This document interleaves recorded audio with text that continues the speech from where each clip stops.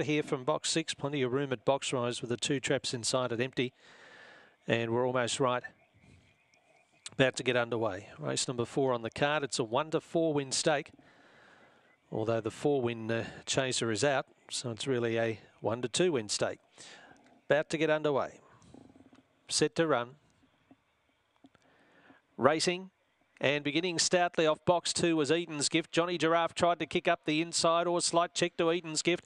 And going forward as Panzer Attack, Whiskey talking in behind those runners with Mikado Eclipse and Astronomicas about centre field. Off the back though, Johnny Giraffe kicked away mid-race. Put about three or four lengths on Astronomica to second over uh, Panzer Attack and then Eden's Gift turning though and Johnny Giraffe's pinched it. It's home. Johnny Giraffe wins nicely. Astronomica out for a uh, second placing and a gap Eden's Gift recovered for third.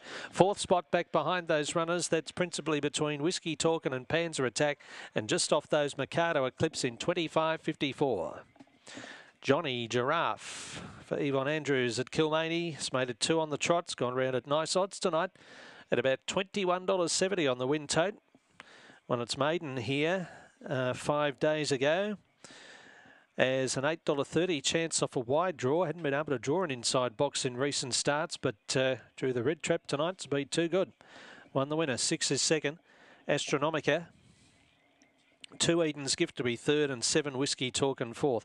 Eden's Gift appeared to uh, cop a bit of a bump at a vital stage early on. Has recovered to run third over Whiskey Talking numbers here, 1627. Winning margin three lengths, three and a quarter between second and third, and 25.52 is the overall run. Johnny